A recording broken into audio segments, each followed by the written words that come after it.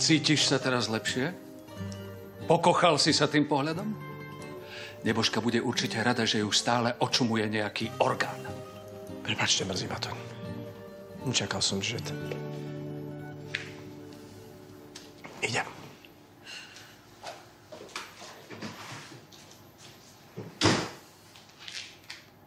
Čistý vzduch. Nie, nie, nie. Počkáme, kým nenaštartuje. Vieš, on taký. On sa môže nečakane vrátiť ako hnačka.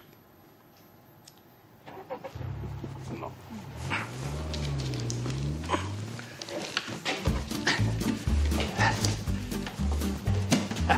Môžeš. Už? No. Teda akože ležala som už hoci kde, ale toto fakt všetko prekonalo. Počuj, to si nemohol doniesť trocha pohodlnejšiu truhlu? Nemohol. Čo? Lebo truhly sa robia pre mŕtvoly. A mŕtvolom na pohodlí nezáleží. Zbláznili ste sa. Čo ak by ju Šimon spoznal? Alebo ak by sa pohla?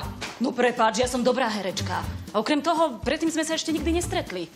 Škoda, no. By som si ho kúkla. Som počula, že je to fešák. No, to by ho rovno vystrela. No šťastie, že som mala so sebou ten hnusný púder z Polska. Vraj môj otieň, no tak to ozaj len po smrti. Skoro som zinfarktovala. Ale no tak pokoj, Petra. Sme dobrý tým. Vždy s nimi vybabreme.